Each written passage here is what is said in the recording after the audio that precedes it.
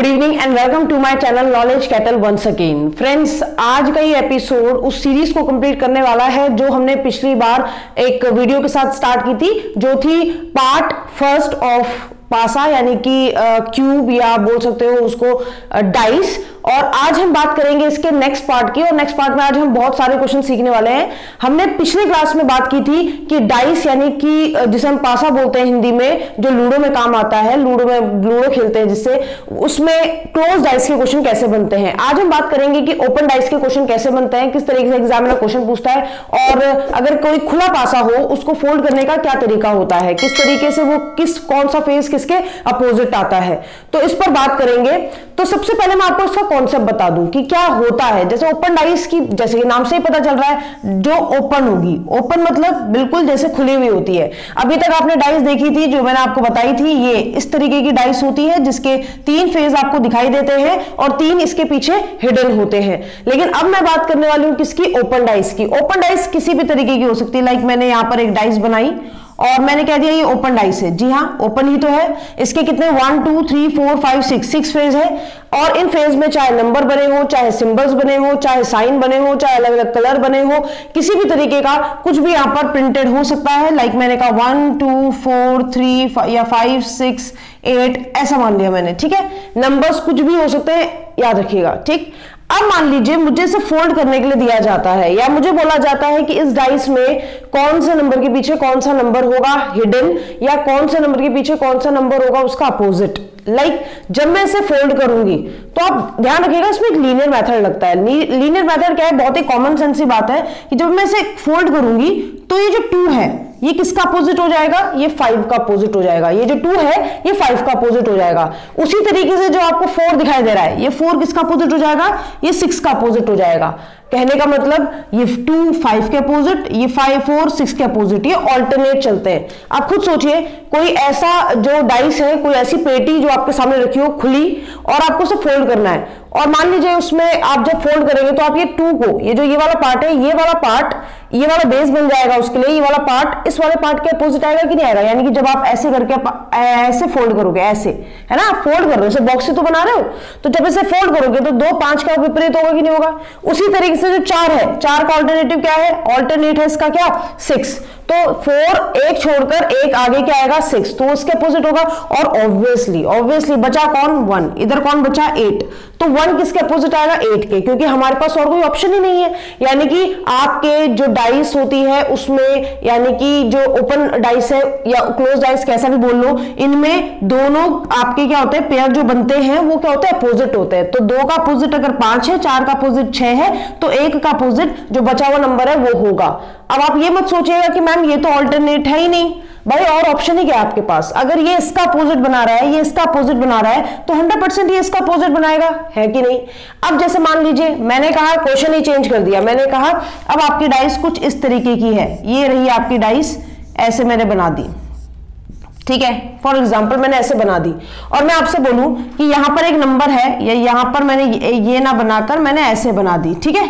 छह फ़ेज़ होने चाहिए, ये इंपॉर्टेंट है। मैंने यहाँ पर बोला, यहाँ ए है, यहाँ बी है, यहाँ सी डी ई और एफ़ और मैं आपसे बोलूँ, जब आप इसे फोल्ड करेंगे तो ए का अपोजिट क्या आएगा, या ई e का अपोजिट क्या आएगा, या सी का अपोजिट क्या आएगा तो बहुत सिंपल फंडा है कि मैम ए जो है, वो किसका विपरीत होगा सी का? क्योंकि इसका ऑल्टरनेट यही है कि इसको फोल्ड करेंगे और ये बीच वाला इसका बेस का काम करेगा, ठीक है? उसी तरह से ई e का एफ़ है, क्योंकि ई e एक छोड़कर बी छोड़कर आगे किसके अपोजिट आएगा? एफ़ के अपोजिट आएगा। और यहाँ पर अगर हम बात करें तो बी किसका अपोजिट आएगा? डी का अपोजिट आएगा। तो तीनों के अपोजिट हमें मिल गए। लेकिन लेकिन लेकिन एग्जामिनर सिर्फ़ ये नहीं पूछने वाला कि किसका अपोजिट क्या आएगा। एग्जामिनर आपसे एक और क्वेश्चन करेगा कि वो आपको एक खुली डाइस देखेगा, देगा, यानी कि खुला पासा, और बोलेगा, इसको फोल्ड करिए। फोल्ड करने के बाद वो कहेगा आपसे कि ये किस किस पोजिशन में अपेयर हो सकता है? कौन कौन सी पोजीशन आ सकती है? अब इतना तो हमें पता चल गया कि मैम ये इसका अपोजिट है, ये इसका ये इसका। बट इससे काम कहा चलेगा? एग्ज़ाम में बोल रहा अच्छा ठीक है, अगर हम इसे अपोजिट करके रख भी ले अपने पास तो ऐसा तो है नहीं कि पोजीशन एक जैसी हो जाए। पोजीशन का मतलब है लाइक मुझे ये वाला डाइस दिया गया ओपन और मुझे कहा इसे फोल्ड करो और इसे साइड पे रख दो। तो मैंने फोल्ड करके साइड पे रख दी। और साइड पे रखने के बाद जब मैं इसे क्लोज आइज़ बनाकर रख रही हूँ, जब ये खुला है, उसके बाद मैंने इसे बंद करके रखा तो ज़रूरी थोड़ी ना, मैंने कहा यहाँ पे टू आ रहा है मैं कह रही हूँ यहाँ पे फोर आ रहा है और मैं कह रही हूँ यहाँ पे एट आ रहा है। हो सकता है कि नहीं हो सकता। बिल्कुल हो सकता है मैम टू का अपोजिट क्या है? आपके हिसाब से फाइव है तो फाइव इसके पीछे हिडन होगा नीचे बॉटम में। मैंने कहा फोर का अपोजिट क्या है? सिक्स है तो फोर के पीछे जो हिडन फेस है, उसमें सिक्स छुपा होगा। और यहाँ पर एट है तो एट का अपोजिट कौन है? वन तो वो वन छुपा होगा। लेकिन अगर मान लीजिए कोई स्टूडेंट कहे कि नहीं मैम जब मैंने इसे फोल्ड किया तो मेरे तो कुछ और ही नंबर आ रहे थे। मेरा आ रहा था यहाँ पर फोर यहाँ पर आ रहा था मेरा फाइव यहाँ पर आ रहा था वन तो मैं उसको डिनाई थोड़ी ना करूँगी। बात तो उसकी भी सही है। क्यों?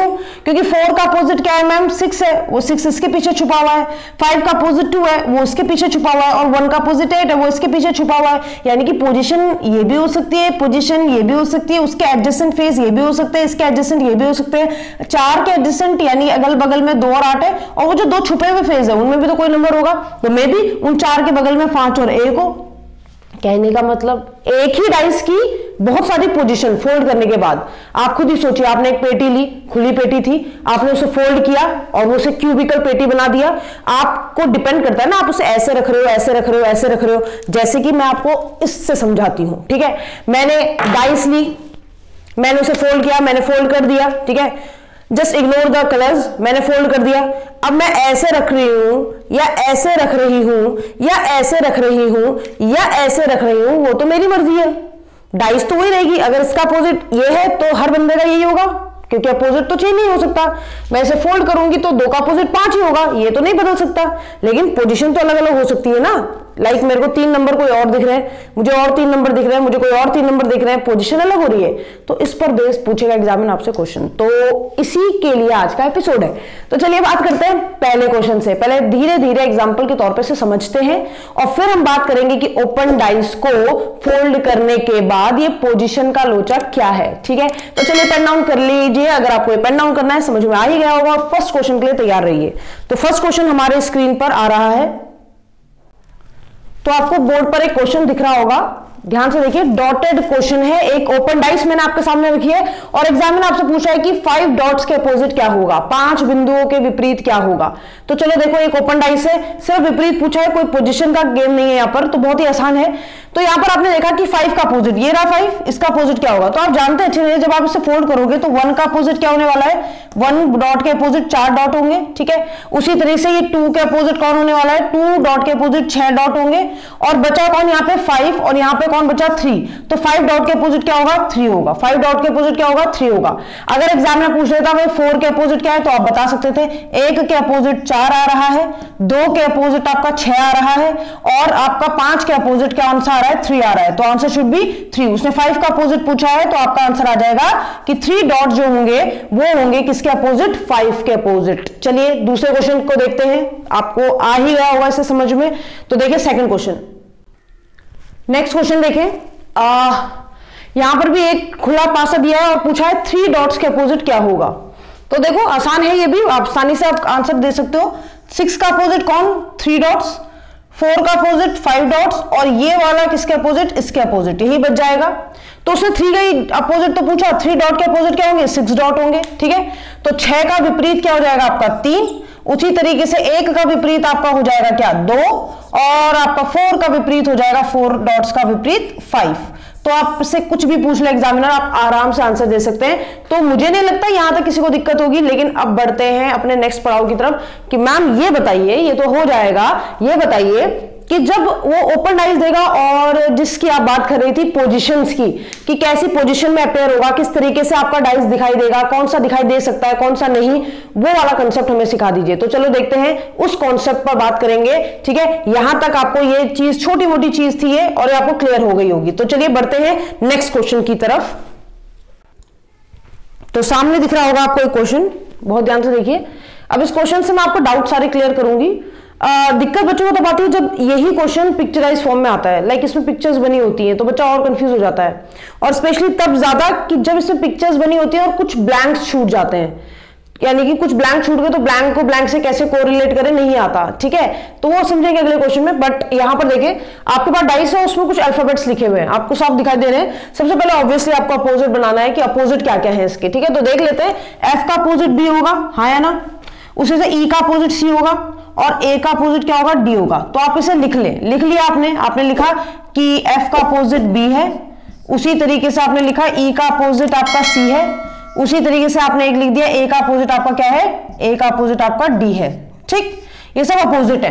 यानी कि जब आप डाइस बना रहे होंगे तो इन तीनों के अपोजिट ये तीन हिडन होने चाहिए। ये तीन क्या होते हैं? छुपे होने चाहिए। अब जरा समझना। अब उसने बोला इन चारों पोजीशन में से। आपको कुछ समझ में नहीं आता एग्ज़ाम में कि भाई इनका करना क्या है? भाई एक बात सुनो। ये जो चार पोजीशंस दिए हैं, वो ये पूछ रहा है क्वेश्चन समझिएगा। वो ये पूछ रहा है कि इस डाइस को फोल्ड करने के बाद उसकी पोजीशंस उसका अपेयरेंस कैसा कैसा हो सकता है? वो ये ऐसी बनेगी ऐसी बनेगी ऐसी बनेगी ऐसी बनेगी। वो तो डिपेंड करता है ना रखने वाले पे। रखने वाला ऐसा रख रहा है, ऐसा रख रहा है। हमें थोड़ा ना पता। इसका मतलब कौन से पॉसिबल ये जो डायग्राम पोजिशन है क्यूब की कौन कौन सी बन सकती है फोल्ड करने के बाद? आपको जस्ट ये बताना है। तो जरा देखते हैं कैसे इसका चयन करते हैं। उसे बोला एफ़ बी और ई एफ़ बी और ई एक साथ आ सकते हैं क्या? एफ़ बी और ई एफ़ और ई तो ठीक है एफ़ और ई लेकिन एफ़ के साथ साथ बी आपको पता है डाइस का सबसे पहला और अंतिम रूल ही है कि मैम जब एक चीज़ आती है तो अगर कोई फ़ेज़ आ रहा है तो उसका अपोजिट उसके सामने कभी दिखाई नहीं दे सकता। मैंने आपको पिछले एपिसोड में बताया। अगर मैम एफ़ आ रहा है तो एफ़ के साथ, उस डाइस में एफ़ ई ए का कॉम्बिनेशन बन सकता है। बी सी डी का कॉम्बिनेशन बन सकता है, लेकिन ऐसा कभी हो ही नहीं सकता मैम कि एफ़ ई e और उसके साथ साथ बी भी आ जाए। अगर बी एफ़ का अपोजिट है तो अगल बगल कैसे हो सकते हैं? वो एडजस्टेंट साइड पे कैसे हो सकते हैं? नहीं हो सकते। अगर एफ़ दिख रहा है मैम तो बी को हाइड होना ज़रूरी है, और अगर मैम बी दिख रहा है तो एफ़ का हिडन होना ज़रूरी है। इसका मतलब कोई भी व्यक्ति जब इसे फोल्ड कर रहा होगा तो उसकी ये पोजिशन तो कभी बन ही नहीं सकती। हाँ या ना? कभी नहीं बन सकती। यानी कि फ़र्स्ट तो आंसर हो ही नहीं सकता। और अगर फ़र्स्ट आंसर नहीं होगा तो आप ऑप्शन एलिमिनेट कर सकते हो। ऑप्शन आपके पास दिए हुए हैं, जिसमें में फ़र्स्ट है ऑप्शन वो तो हो ही नहीं सकता. क्यों? क्योंकि पहली पोजीशन तो उसकी बन ही नहीं सकती. ये तो हो ही नहीं सकता कि एफ़ और बी आपस में एडजस्टेंट हो जाए. ठीक? पर चलो आगे चेक करते हैं. कहता है एफ़ ई और डी एफ़ ई और डी एफ़ ई और डी तो यहाँ से उठाया आपने एफ़ एफ़ बन सकता है बिल्कुल. एफ़ के साथ डी नहीं होना चाहिए. नहीं है. ई e बन सकता है बिल्कुल. ई e के साथ क्या नहीं होना चाहिए? सी नहीं होना चाहिए. नहीं है. और इन दोनों में से कौन बन रहा है? डी मैं ये नहीं कह रही हूँ एफ़ ई और ए का ही कॉम्बिनेशन बनेगा. एफ़ ई e और डी यानी कि एक एफ़ बना एफ़ के पीछे छुपा होगा बी एग्री ई है ई e के पीछे छुपा होगा C agree and A D है तो डी के पीछे ए छुपा होगा, यानी कि ये तीनों का कॉम्बिनेशन बन सकता है। हाँ दोनों दोनों नहीं ले सकता, आप किसी ब्लॉक से दोनों नहीं ले सकते। कहने का मतलब अगर डी है तो ए नहीं आ सकता था। अगर ए आ रहा है तो डी नहीं आ सकता था। ई e है तो सी नहीं आना चाहिए था। सी आता तो ई नहीं आना चाहिए था। एफ़ है तो बी नहीं आना चाहिए। बी आता है तो एफ़ नहीं आना चाहिए। हाँ या ना? इसका सेकंड डायग्राम बन सकता है, बिल्कुल ऑप्शन भी आपके पास है। लेकिन थर्ड और फोर्थ के साथ क्या दिक्कत थी? थर्ड और फोर्थ भी नहीं बन सकते। क्यों नहीं बन सकते मैम ये तो आपको ऑप्शन से ही पता चल गया होगा बट देखो ई e, बी और सी ई भी है बी भी है सी भी है। ई e है ठीक है। बी है ठीक है। लेकिन आप ई e के साथ सी कैसे ला सकते हो? ई के साथ सी एडजस्टेंट में आ कैसे सकता है? पॉसिबल ही नहीं मैम इसको तो अपोजिट होना चाहिए था। ओहो अगर इसे अपोजिट होना चाहिए था तो आप इसको बगल में कैसे ला गई नहीं मैम ये बिल्कुल नहीं हो सकता। थर्ड तो बिल्कुल नहीं हो सकता। बहुत सिंपल सी चीज़ है बहुत ही सिंपल सी। अब बात करते हैं डीई और ए की। डीई और ए डी है ई e है ये रहा और ए है साथ में। डी और ए के साथ नहीं थी प्रॉब्लम लेकिन अगर डी आ रहा है मैम तो उसके एडजस्टमेंट में ए कैसे आ सकता है? तो डी ए और ई e का कॉम्बो तो बन ही नहीं सकता। इसका मतलब ये भी क्या हो गया? गलत हो गया। इसका मतलब answer should be only second position जो है या ओनली सेकंड स्ट्रक्चर जो है इसका, वो बन सकता है। इस ओपन क्यूब को, इस ओपन पासे को, इस ओपन डाइस को जब हम फोल्ड करेंगे तो इसकी पोजिशन चाहे कितनी भी आए बट ये तीनों तो नहीं आ सकती। लेकिन हाँ ये सेकेंड वाली पोजिशन बिल्कुल दे सकता है क्योंकि इसमें जो भी आप अल्फ़ाबेट ले रहे हो, जिस फेस पर, उनके जो अपोजिट है, वो हिडन है। और यही रूल है डाइस का, इसके अलावा आप कुछ नहीं कर सकते, ठीक है? इस डाइस इस रूल को आपको फॉलो करना पड़ेगा ओपन डाइस में। आशा है, समझ में आया होगा? बिल्कुल समझ में आया होगा। सेकंड क्वेश्चन की तरफ़ बढ़ते हैं, थोड़ा स्ट्रक्चर में करते हैं गोलमाल। चलिए, फटाफट से पेन डाउन कर लीजिए और सेकंड क्वेश्चन के लिए तैयार रहिए। चलिए, अब इस डायग्राम को देखकर बिल्कुल भी घबराए ना कि मैम ये डायग्राम कैसा है। आसान है, बस ये ब्लैंक वाला कंसेप्ट समझना जरा। आपके पास फिर से डाइस दे रखी है, लेकिन अब क्या किया है? एक पार्ट शेडेड कर दिया है, यानी पूरा का पूरा रंग दिया गया है।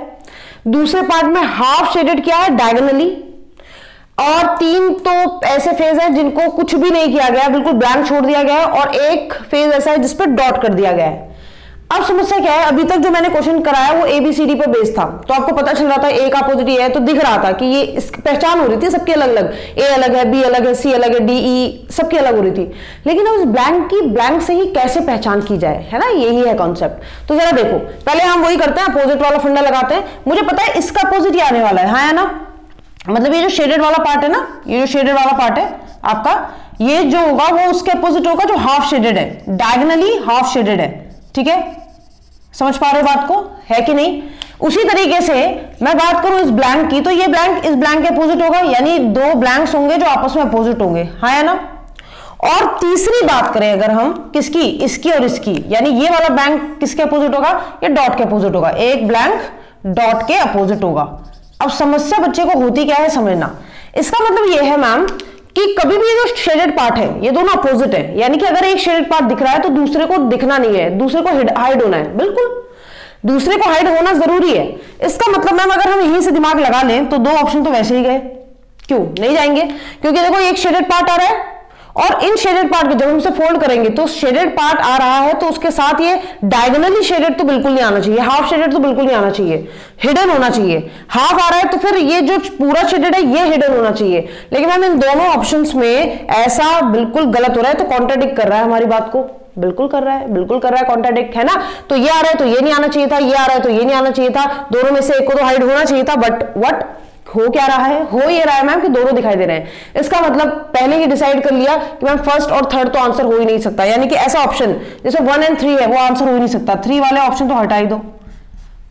और ये हटा दिया आपने तो आंसर क्या होना चाहिए? टू लेकिन चेक कर लो बाकियों को भी, ठीक है? हमेशा ज़रूरी नहीं कि ऑप्शन ऐसे हो कि आप एलिमिनेट कर दो। ये बन सकता है क्या सेकंड बिल्कुल बन सकता है। क्यों बना मैम एक तो ले डॉट डॉट ये रहा हमारे पास।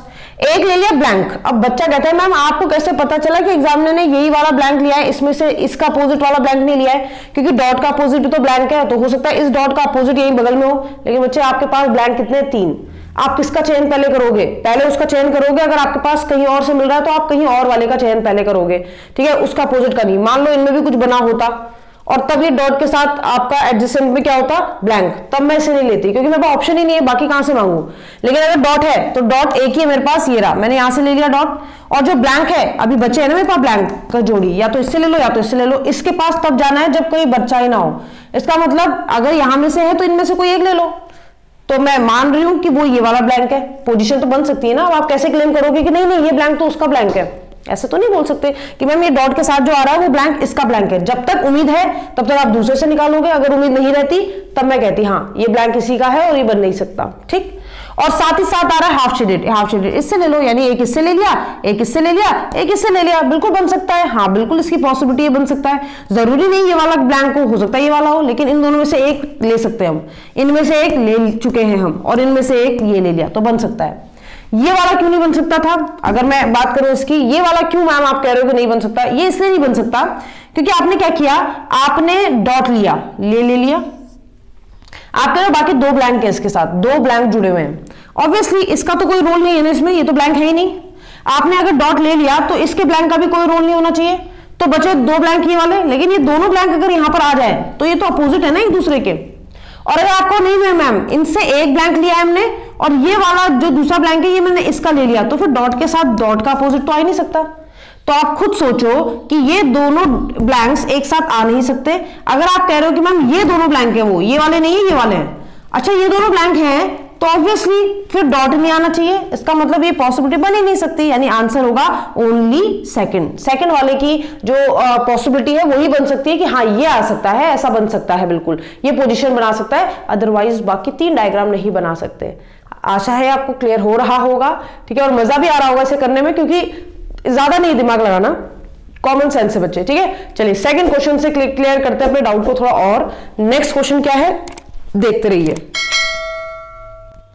चलिए नेक्स्ट क्वेश्चन देख लेते हैं। नेक्स्ट क्वेश्चन में आप इजीली कर लेंगे इसको इजीली ठीक है?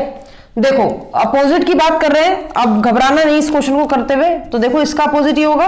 यानी एक ब्लैंक का अपोजिट है वो, जिसमें एक छोटा सा सर्कल बना हुआ है तो मैंने बना दिया, एक ब्लैंक का अपोजिट वो जिसपे एक छोटा सा सर्कल बना हुआ है, ऐसा फ़ेज़ इस ब्लैंक का अपोजिट ये वाला ब्लैंक एक ब्लैंक का अपोजिट ये वाला ब्लैंक और ये जो हाफ़ शेडेड है, दो डायगनली हाफ़ शेडेड है, ये एक दूसरे के अपोजिट होंगे। यानी एक इसके अपोजिट होगा, दोनों हाफ़ शेडेड है, और, एक दूसरे के अपोजिट है। ठीक है? चलो देख लेते हैं। अब सिंपल है, अगर दो हाफ़ शेड एक दूसरे के अपोजिट और बाकी शेडेड कोई है ही नहीं तो ये तो हो ही नहीं सकता फोर्थ वाला ऑप्शन क्यों? क्योंकि बच्चे, इसमें दोनों हाफ़ शेडेड है और एडजस्टेंट है, एक इधर और एक इधर लगा हुआ है, ठीक है? एक पूरा ये, एक पूरा ये और वो दोनों आपस में एडजस्टेंटली कनेक्टेड है, जो कि हो ही नहीं सकता, यानी फोर्थ ऑप्शन तो हो ही नहीं सकता। तो फिर आंसर यही आएगा। ऑप्शन ही ये बचा फिर तो। वन और थ्री हो सकता है सेकंड भी नहीं हो सकता इसका मतलब। देख लेते हैं। ये कैसे हो सकता है? क्योंकि एक हाफ़ शेडेड मान लो इनमें से आपने एक ले लिया, कोई भी ले लो। और दो ब्लैंक एक इससे ले लो एक इससे ले लो। ठीक है? आप दो ब्लैंक को ये मत कहना मैम इन, इन दोनों से ही ले लो। नहीं। जब तक दूसरे पे मिल रहा है और कॉम्बिनेशन बन रहा है बिना किसी के अपोजिट को लिए हुए तब तक आप बनाते रहेंगे। तो मैंने क्या किया? इससे लिया एक इन दोनों में से एक लिया और इन दोनों में से एक लिया। तो कॉम्बिनेशन बन सकता है। वन टू थ्री बिल्कुल बन सकता है। इसका अपोजिट इसके पीछे इसका अपोजिट इसके पीछे। अब ये लो चाहे लो। इसका अपोजिट इसके पीछे। फिर कह रहा है ये बन सकता है क्या? एक सर्कल ये छोटा वाला ये सर्कल और बाद बाद में बोल रहा है आपसे कि दो ब्लैंक इनका तो कोई रोल नहीं है, दो ब्लैंक या तो ये दोनों ले लो, ये दोनों लोगे तो फिर दोनों आपस में अपोजिट नहीं हो सकते। और फिर अगर या तो इनका कॉम्बिनेशन लोगे तो भी दिक्कत है। अगर आप इनका कॉम्बिनेशन ले रहे हो तो फिर इसके अपोजिट भी आ रहा है। तो इसका अपोजिट आप ले नहीं सकते, इन दोनों का कॉम्बिनेशन ले नहीं सकते सेकंड बन ही नहीं सकता कभी। समझ पा रहे हो? फ़र्स्ट बन सकता है, लेकिन सेकंड नहीं बन सकता। क्योंकि अगर आप इसको ले रहे हो तो ये जो दो ब्लैंक है तो आप ऐसे नहीं कि आप इन दोनों को ले लो। ये दोनों ले लोगे तो ये तो अपोजिट है, आ नहीं सकते। आप अगर बोलो मैम ये दोनों ले लेते हैं। ये दोनों आप तब लोगे ना, जब ये ना होता। ये है तो इसके साथ इसका पार्टनर तो ले नहीं सकते, इसका अपोजिट मैम ये दोनों ले लेते हैं। ये दोनों लोगे तो इसका तो कुछ नहीं जाता, लेकिन इसके साथ आप इसका अपोजिट ले रहे हो इससे कॉम्बिनेशन बन नहीं सकता। बात करते थर्ड की, एक हाफ़ शेडेड और दो ब्लैंक एक हाफ़ शेड दोनों में से कोई भी ले लो। और दो ब्लैंक एक इसका ले लो, एक इसका ले लो, बिल्कुल बन सकता है, यानी कि first and third only first और थर्ड आंसर होगा। आशा है आपको ये चीज़ें समझ में आ रही होंगी, कैसे बन रहा है, पता चल रहा होगा। अगर अभी भी दिक्कत आ रही है तो प्लीज़ डू कमेंट्स कि मैम यहाँ पर नहीं समझ में आ रहा है, या इसको दोबारा समझा दो, मैं दोबारा समझाऊँगी। बट मुझे नहीं लगता कि इतनी चीज़ें क्लियर करने के बाद आपको यहाँ पर कोई भी प्रॉब्लम आ रही होगी। चलिए, बढ़ते हैं नेक्स्ट क्वेश्चन की तरफ़, और ज़्यादा कंसेप्ट को क्लियर करने के लिए।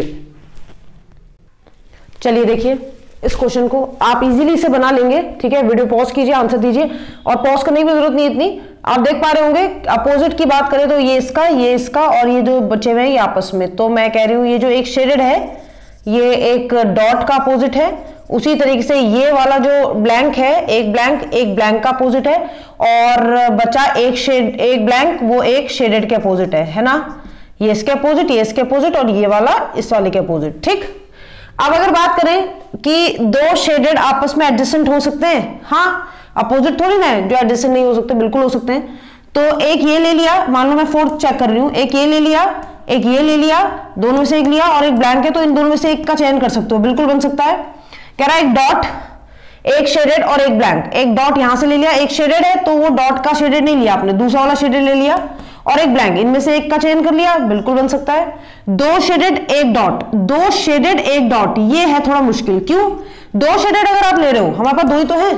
अगर दो शेड्यूल ले रहे हो तो उसके साथ डॉट नहीं आ सकता, क्योंकि डॉट आएगा तो उसका मतलब वो उसी का अपोजिट है, किसी एक, इन दोनों से किसी एक का तो ये बन ही नहीं सकता। और बात करते हैं इसकी डॉट और दो ब्लैंक एक डॉट और दो ब्लैंक एक यहाँ से ले लो, एक यहाँ से ले लो तो एक यहाँ से, एक यहाँ से इनका बन सकता है कॉम्बिनेशन यानी one three and four one three and four बन सकता है option number one one three and four only ठीक है? समझ में आ गया होगा, ठीक? चलिए बढ़ते हैं नेक्स्ट क्वेश्चन की तरफ़ और नेक्स्ट क्वेश्चन होगा थोड़ा सा हटकर, देखते हैं कितने लोग बना सकते हैं।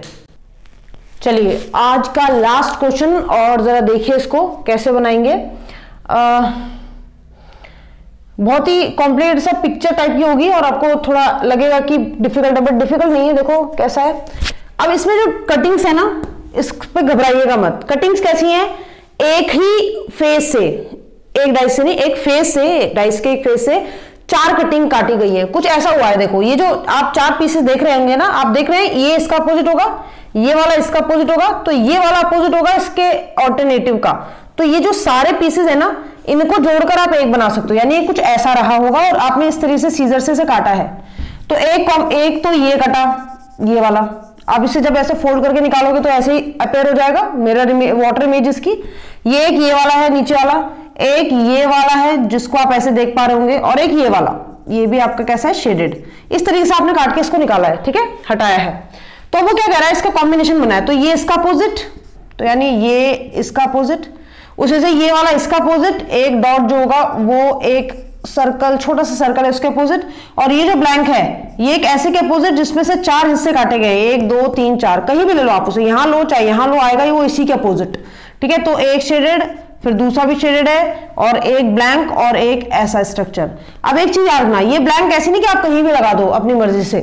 याद रखना, जब ये फोल्ड हो रहा होगा तो ये इसका वर्टिकल अपोजिट आएगा. जब ये ऐसे फोल्ड होंगे, जब ये फोल्ड होगा पूरा तो ये ऐसे आएगा एक दूसरे के इस तरीके से. अगर ये शेडेड पार्ट यहाँ आ रहा है तो ब्लैंक वाला उसके सामने आएगा, ठीक है? और ये वाला शेडेड के पास, ये ट्राइंगल जो बने हैं लाइंस टाइप की, वो ऐसे आएँगी, ठीक है? तो देखो बॉर्डर कौन सा बन सकता है? तो ये ये वाला है इसके साथ एक डॉट ले लिया और एक ब्लैंक इनमें से ले लिया। तो एक ये एक ये एक ये बन सकता है, बिल्कुल बन सकता है, यानी वन बन सकता है। फ़र्स्ट वाला स्ट्रक्चर बन सकता है। नेक्स्ट कह रहा है, अब आप अगर देखें क्वेश्चन को तो फ़र्स्ट वाला हर ऑप्शन में है फ़र्स्ट ठीक है? सेकंड वाला देखिए, एक सर्कल और दो ब्लैंक एक सर्कल और दो ब्लैंक सर्कल तो यही है ना, ये वाला। और दो ब्लैंक एक इससे ले लो, एक इससे ले लो। यानी ये वाला कॉम्बिनेशन भी बन सकता है।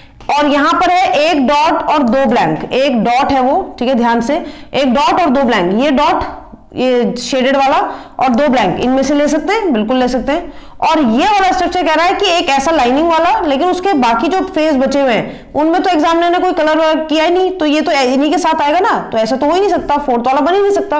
क्योंकि अगर ये वाला लाइनिंग आ रहा है तो जब वो मिक्स होगा, ये जब ये बिल्कुल क्लोज होगा आप इसे फोल्ड करोगे तो उसके साथ शेडेड भी आने चाहिए, जो कि दिखाई नहीं दे रहे हैं। तो ये तो बन ही नहीं सकता। यानी one two and three only यानी ऑप्शन नंबर थ्री आंसर आएगा। वन टू थ्री ये जो पिक्चर मैं बना रही हूँ ना, आप चाहे तो उसे डायरेक्ट देख के कर सकते हैं। मैं यहाँ पर कॉम्बिनेशन इसलिए बना रही हूँ ताकि आपके सामने अपेयर हो पाए कि आप किस किस का कॉम्बिनेशन ले रहे हो। ठीक है? तो आशा है आपको बात समझ में आई होगी। एक और चीज़ बता दूँ कि जो आपके, जो मैं कुछ होमवर्क देते हुए जा रही हूँ, मैं आपको कुछ क्वेश्चन आपके स्क्रीन पर दिखाई दे रहे होंगे, ये आपको करके लाने हैं, ठीक है? करने हैं और कमेंट्स में बताना है कि भाई आप किसका कौन सा, या आप पिक्चर्स दे सकते हो। देखो, यहाँ पर बात करें अगर, जैसे मान लीजिए कभी मैं ऐसा बना के दे दूँ आपको, और मैं ऐसे पीसेस इस तरीके से काट दूँ, ऐसे करके, ठीक है? जैसे मैंने यहाँ कुछ लिखा, यहाँ यहाँ यहाँ यहाँ पे भी कुछ लिखा। तो ये ना पूरी डाइस ये है, लेकिन मैंने पूरी बनाई नहीं, मैंने पूरी जो डाइस है उसका जस्ट हाफ़ कर दिया। यहाँ पर भी एक एक ही फलक का, एक ही फलक का यानी एक फ़ेज़ का आधा कर दिया। तो जब ये मिलेंगे तो ये आपस में एक साथ कनेक्ट होंगे, है ना? तो ये इसका अपोजिट ये इसका अपोजिट तो ये आपस में कनेक्ट होगा, ठीक? लेकिन आपको नहीं लगता कि एक पार्ट मिसिंग है? अब मान लो एग्जामिनर ने एक पार्ट यहाँ कर दिया और एक पार्ट एग्जामिनर ने मान लो इधर कर दिया फॉर एग्ज़ाम्पल है ना? तो जब इस तरह का कभी आपके पास डायग्राम आए, ठीक है तो आप ये वाले कॉम्बिनेशन एक साथ लेना, ये वाले कॉम्बिनेशन एक साथ लेना, ठीक है, क्या बोला मैंने? मैंने बोला कि जब भी इस तरह का आपके पास डायग्राम आया, आपको पता है ये इसका अपोजिट है, ये इसका अपोजिट है, और ये वाला पार्ट एक साथ मिक्स करना है आपको। आपको ये नहीं कि इसके साथ ये वाला मिक्स कर दिया, नहीं, ये ऑल्टरनेट नहीं है बच्चे, इसका आप फोल्ड करोगे तो ये इस वाले फ़ेज़ अगर आप मैं इसे पूरा बनाऊँ और इसको पूरा रहा तो ये इसका अपोजिट हो ही नहीं सकता। तो याद रखना, ये इसका अपोजिट आएगा और ये सॉरी ये इसके साथ कॉम्बिनेशन बनाकर एक डाइस बनाएगा, फिर चाहे इसमें कुछ भी बनाओ और ये इसके साथ मिलेगा। ठीक है? और तब ये आपस में अपोजिट होंगे। ठीक? तो ऐसा ही क्वेश्चन आपके होमवर्क के लिए आपको दिख रहा होगा। तो ये आपको करके लाना है। ठीक? और अगर आपको आए में कोई प्रॉब्लम तो प्लीज़ कमेंट ज़रूर कीजिएगा सो so दैट मैं आपकी क्वेरी सॉल्व कर सकूँ, और मिलेंगे अपने अगले एपिसोड में, ठीक है? और तब तक के लिए अपना ध्यान रखिए और पढ़ते रहिए मेरे साथ नॉलेज कैटल में।